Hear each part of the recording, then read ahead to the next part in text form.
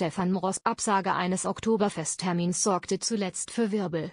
Jetzt bezieht seine Freundin Eva Luginger Stellung. Einem Bericht der Bild-Zeitung zufolge, sagte Stefan Mross am vergangenen Samstag einen Oktoberfest-Fassanstich ab, weil er angeblich am Vorabend bei einer Hochzeit zu tief ins Glas geschaut habe. Der Schlagerstar erklärte bei RTL daraufhin, dass es sich dabei um eine völlige Falschaussage handle. Nun führt er weiter aus. Und auch seine Freundin Eva Luginger reagiert. Bei der Hochzeit, auf der Ross am Freitagabend zu Gast war, handelte es sich um die Feier von Eva Lugingers jüngerer Schwester. RTL sprach mit der Sängerin am Montag nach einem Auftritt von Stefan Ross beim Fränkischen Volksfest in Kreilsheim. In dem Interview sagt sie über die Hochzeitsfeier, es war wirklich wunderschön.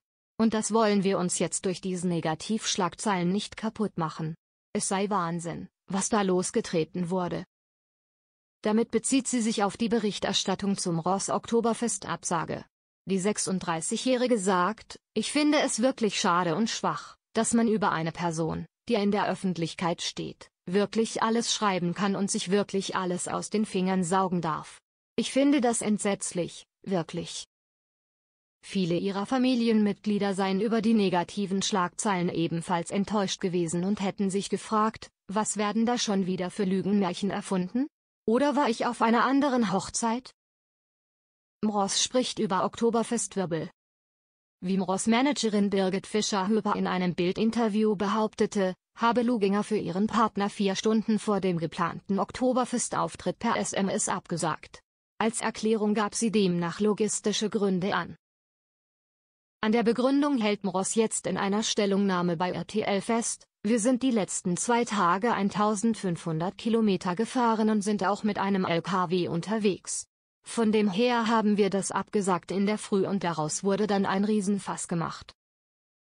Der Musiker tourt derzeit durch Deutschland und erklärt, da kann man nicht durchfeiern und nebenbei noch Oktoberfest und von einem Fest zum anderen fahren.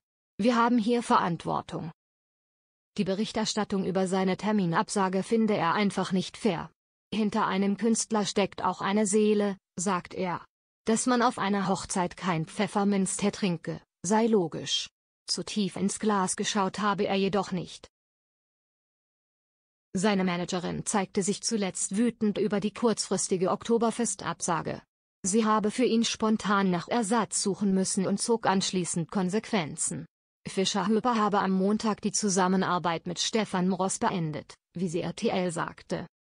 Mross behauptet bei dem Sender nun jedoch, ach, wir arbeiten schon längst wieder zusammen. Natürlich war es für all nicht fein, das muss man ganz ehrlich zugeben. Aber es wird sicherlich wieder eine Zusammenarbeit geben.